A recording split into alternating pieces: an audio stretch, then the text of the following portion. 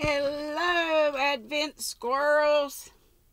I decided to do this early. I was going to wait till I got more done. Yes, I'm so far behind still, but we're not stressing. I just can't wait to see what the next color is, even though I've got two more to do after this. And you can see how long each section is. It's okay. I feel good. I've at least got one done whenever this gets done, it gets done. But I hope it gets, if it doesn't get done during, doesn't Advent go to January the 6th? I'm thinking. Hoping I'll get it done by then. I'm not going to let it linger, languish in a, in a pile. I hope. because I do want to give these as gifts.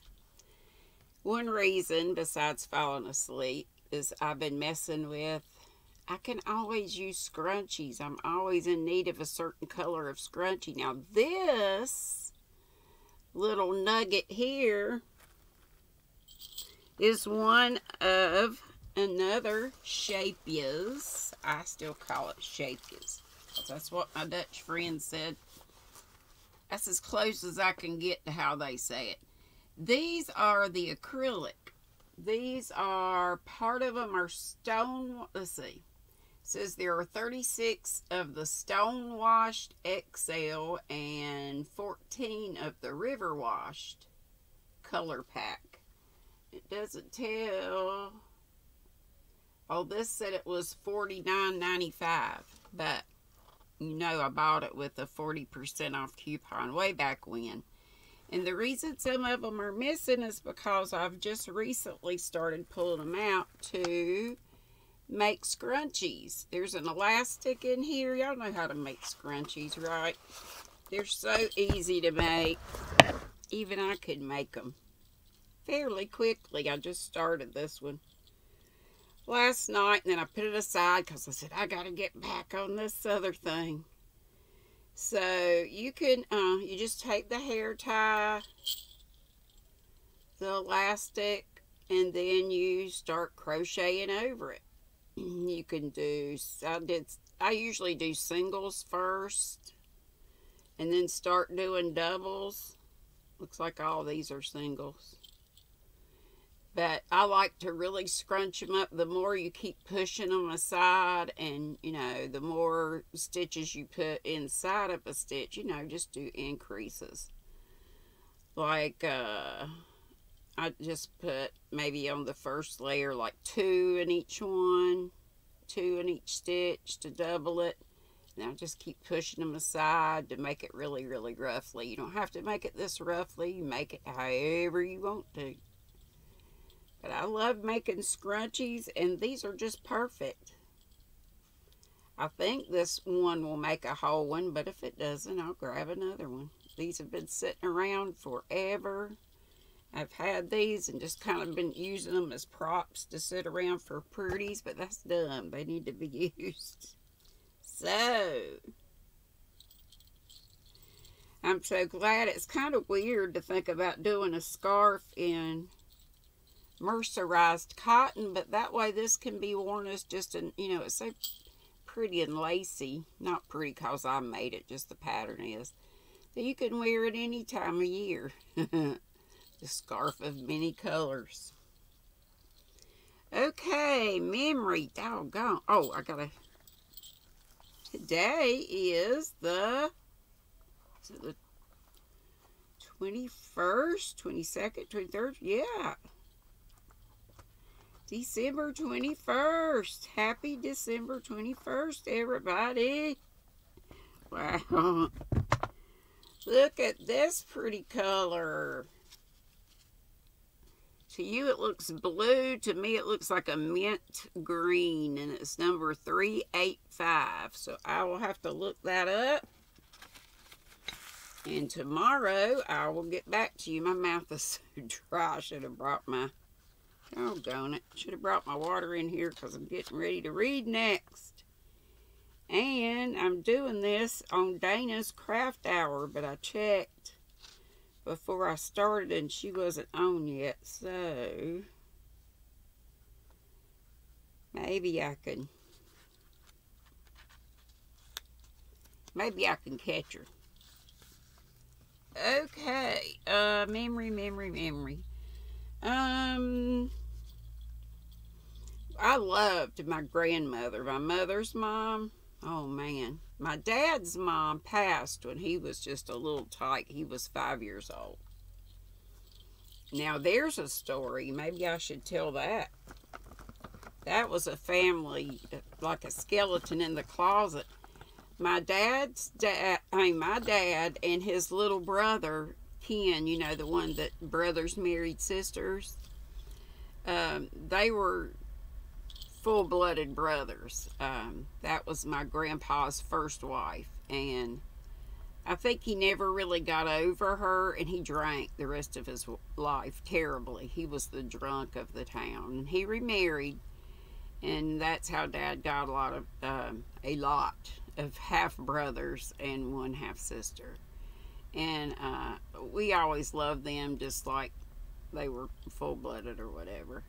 And Beanie, we got her name was Bernice, but we called her Beanie. So she was my grandmother on that side. Sweet as she could be. She used to keep uh, me and my cousin Terry um, when my mom was still working. So when I was really, really young. Um, but uh, Dad's real mother, you know, the the story was that I always heard was that she died from complications of diabetes. She had diabetes really bad, and possibly because they were pretty poor, they were poor, they were dirt poor. Uh, that maybe she didn't get her insulin or didn't take it like she was supposed to, possibly because of the money thing. That's the story I had all always heard until I don't know. It was at a Van Hoyt reunion probably 20 or so years ago, you know. I'm I'm knocking on number 62 birthday. not not real close, but in the spring.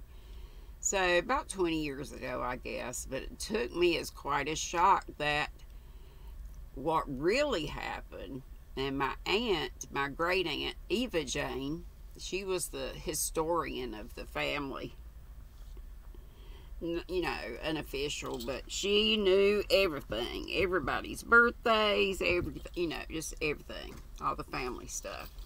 And sweet as she could be and funny, she could tell the funniest stories.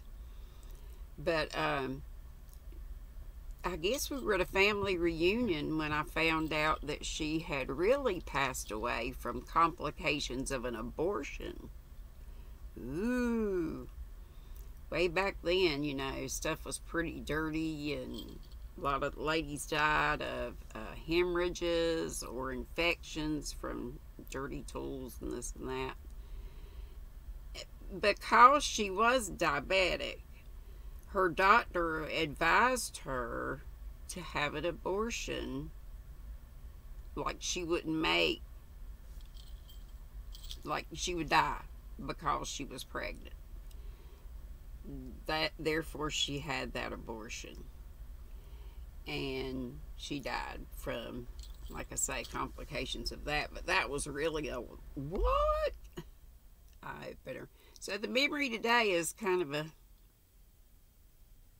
icky one but anyway, and then grand, Grandpa, I don't think ever really got it, even though he remarried and everything. But I think he had the case of the guilts, and that he tried to drown his guilts with alcohol. I think is how it got started anyway. From from Aunt Eva Jane, and she was a pretty reliable source. She's long gone now too. Boy, do I miss them. I used to love to sit around and listen to the old, you know, country stories they would tell.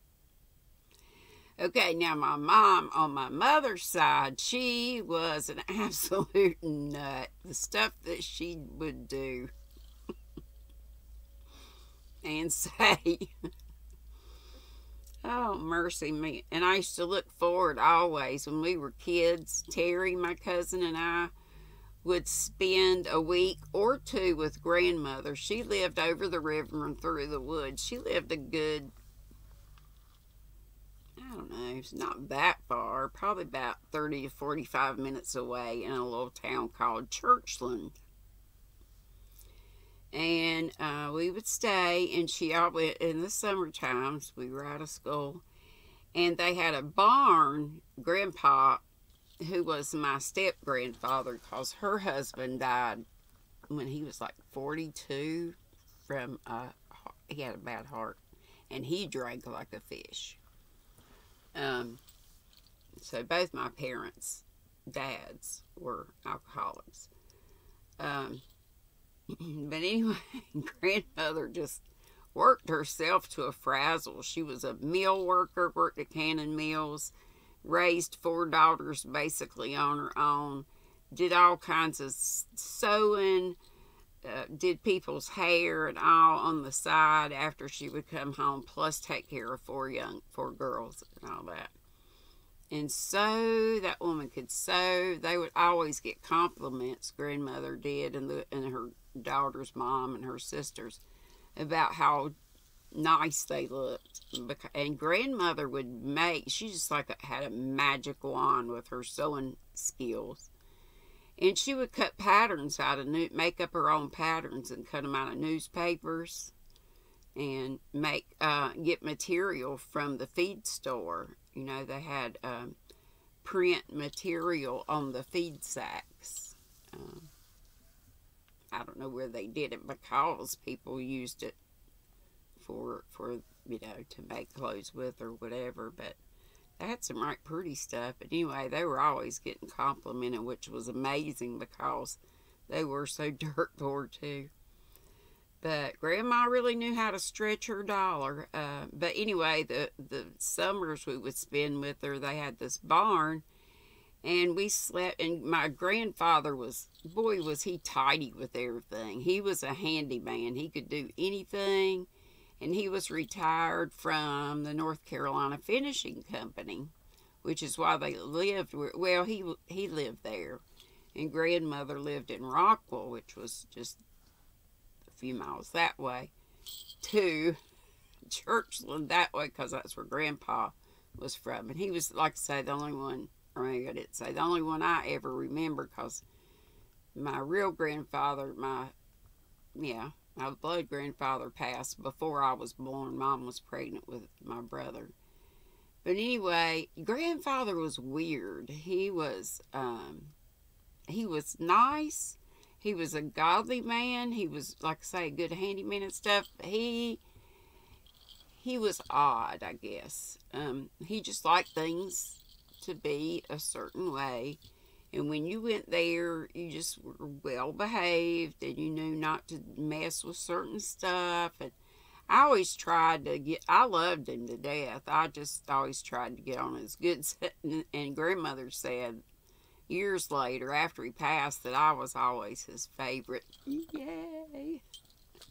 But anyway, so he had this barn, but it was meticulously clean and organized.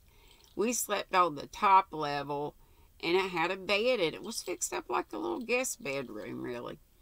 So there was no air in there. There was a you know windows on each end big windows with screens and they had these big fans. So uh, terry and i would sleep there in the summer just because we wanted to. She had a spare bedroom that we could have used but I remember one one morning in particular, and it might have happened a lot of times, but I remember this one particular morning that grandmother and they always had these great gardens, these vegetable gardens, flowers and stuff too. But oh man, grandma could cook. She could make a tomato taste like something you ain't never had in your life.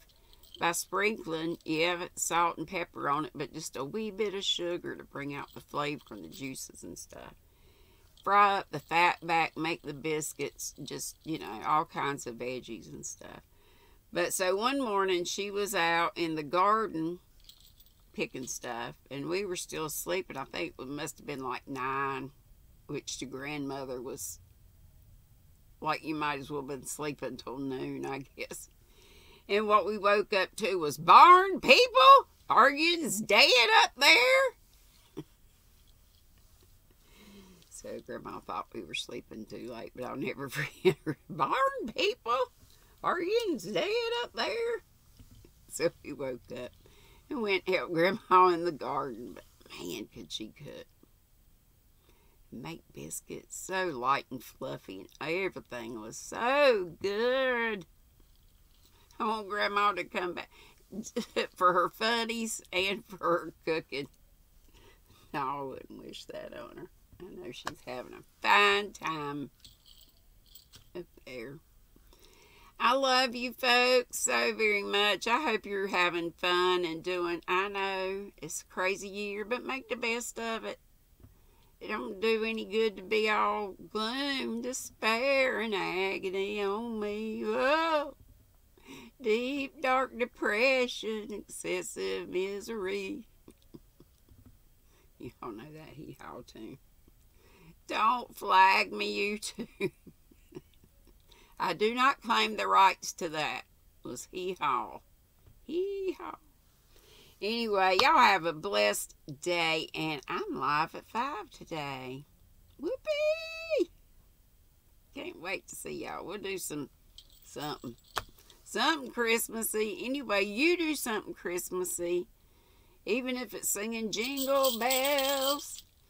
Uh, if you got grand onions, make some cookies with them just some easy cookies. I saw some of those real easy, like Danish, wet no, Mexican wedding cookies that are in a ball that had very few ingredients in it. Look around, find something, something easy to make, or just whatever. Ride around, look at Christmas lights tonight.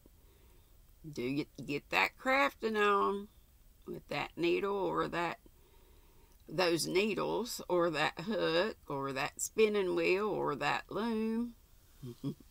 I just want you to be happy. Love to you all. Be sweet. Don't be ugly. Love you. Bye-bye.